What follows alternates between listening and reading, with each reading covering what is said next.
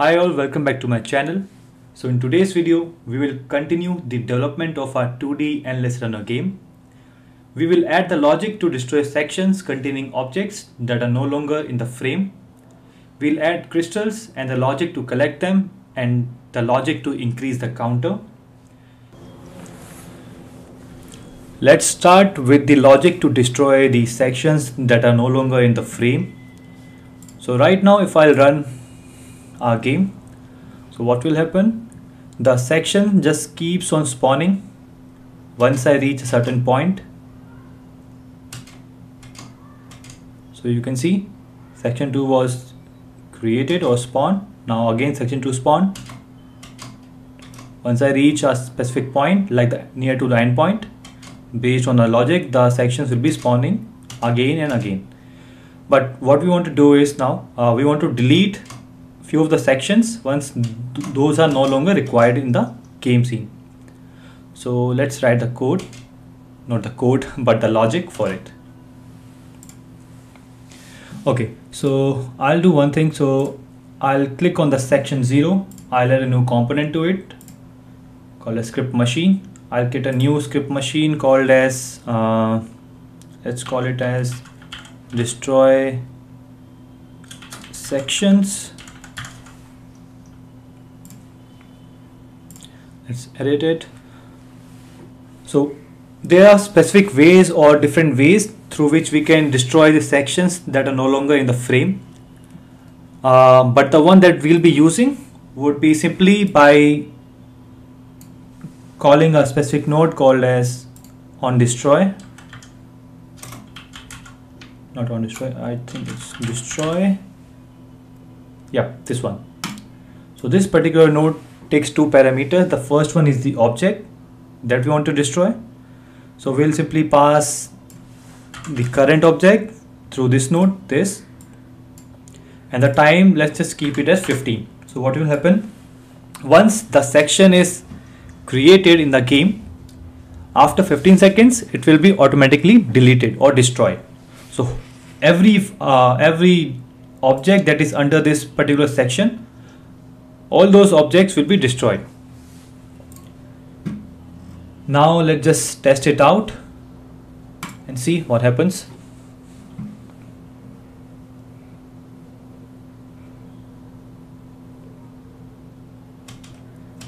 Section 1 is generated.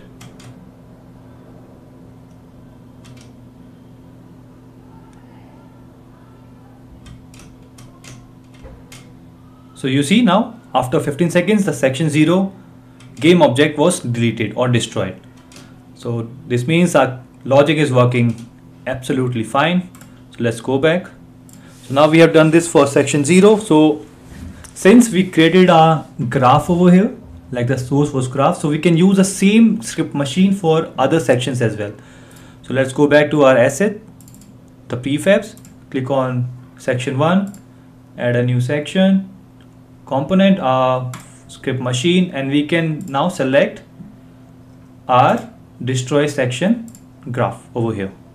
Let's do the same thing for section 2 select the graph. Now let's test it out.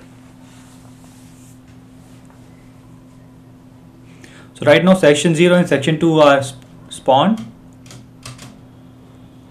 So after 15 seconds, uh, both of these should be destroyed from our hierarchy window. So you see, both of them got destroyed. Nice. Yep, that means our logic is working absolutely fine so it will keep on spawning new sections and also destroying them after a certain time whichever we have put in our game logic great now let's add a logic to collect crystals or coins whichever you will be using in your game. So in our game in this tutorial we'll be using crystals. So I've already imported one asset. Under this asset I have this crystal or gems. We'll call it crystal. So let's just bring it out in a section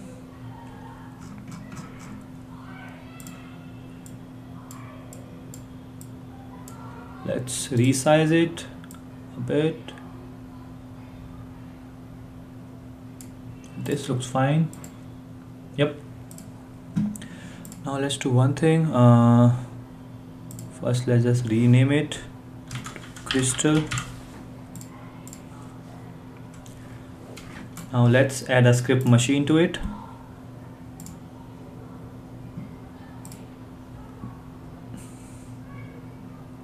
we'll create a new one called as crystals. Let's edit the graph.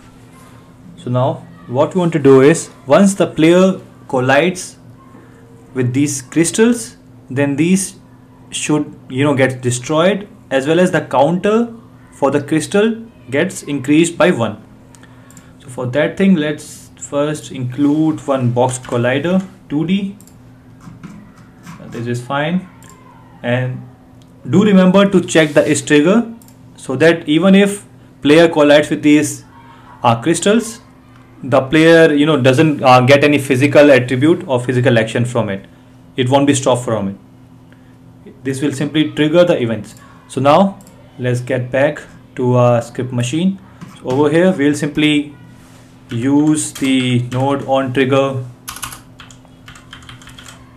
enter 2d so the node that we want to find is game object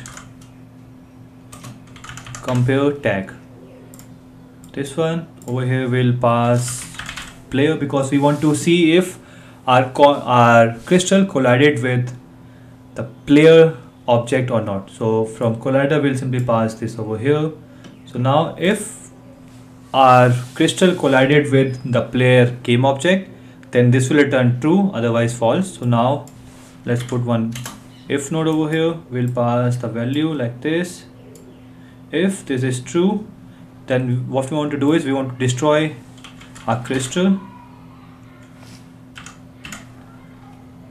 We'll use this one. In object we'll pass this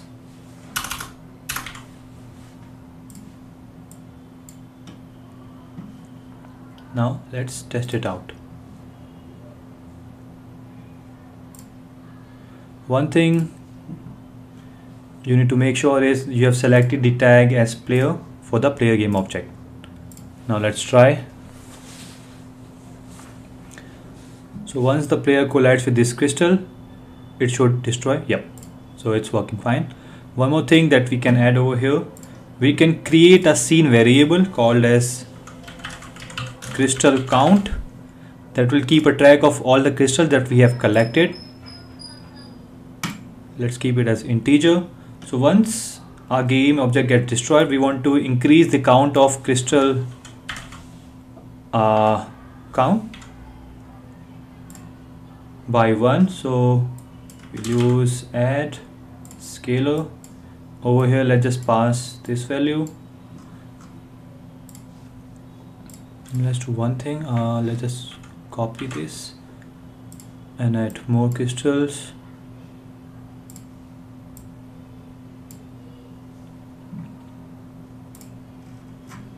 Hmm. Now let's test it out.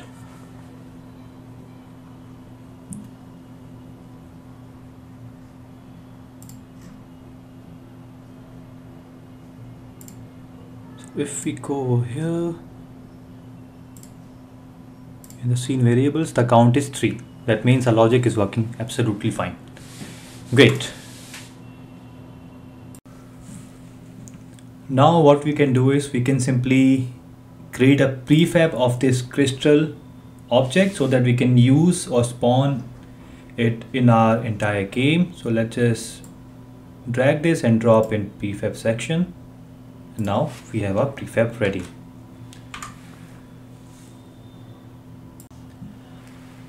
now let's just add one more game object item in our game.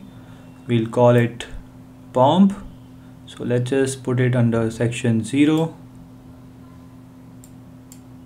let's scale it down a bit. Yep. think this is fine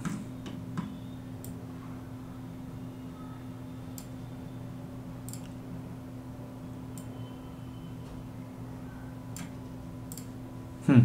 so now if our player collides or touches this bomb game object then player's health should be decreased by 1 so we'll use the same logic that we have used for the collectible like the crystal.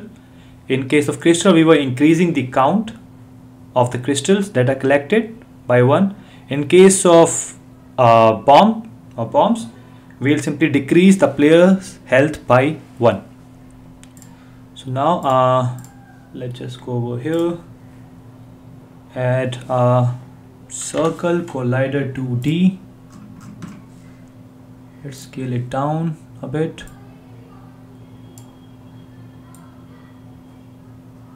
Yeah this is fine. Make sure you select is trigger. Now let's add a script machine to it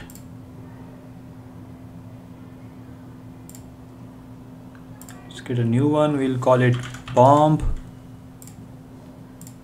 Let's go over here. Again the same thing. On trigger enter 2d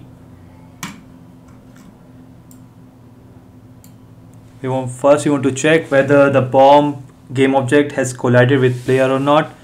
So we'll use the same node that we used earlier. Compare tag we'll pass player over here. If this is true then first thing that what we need to do is we need to destroy this bomb object.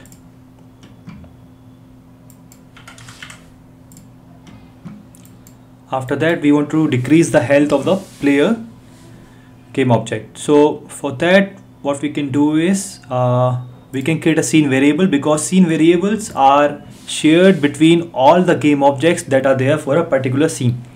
So we can use utilize the same scene variable. So let's just create player health over here. Let's put uh, let's just put 3 as a player health right now. So now what we want to do is after the game object is destroyed like the bomb game object is destroyed we want to decrease the player's health so let's do set player health variable and let's just subtract it. Over here we'll pass the player health minus 1 that's it. Now let's test it out. I'll just move it over here